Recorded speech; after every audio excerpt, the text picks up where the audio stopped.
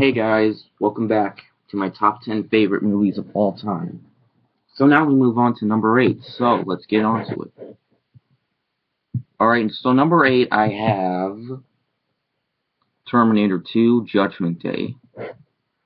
This is my favorite Terminator movie. This was just a great movie. I mean, this this is just a badass, entertaining, action-packed movie. I mean, Arnold Schwarzenegger does a fantastic job. I mean, really. I mean, seriously. Although the first Terminator movie was good, this one, in my opinion, I thought it was so much better. You know, really, Arnold Schwarzenegger just has an awesome performance. And I like that Arnold Schwarzenegger is the good guy this time, not the bad guy like in the last movie. But the effects for this movie, um, even even though it has some CGI, um, the CGI looks really incredible, and this is a classic. This is how you make a good sequel. Okay, this is how you make a sequel better than the first movie.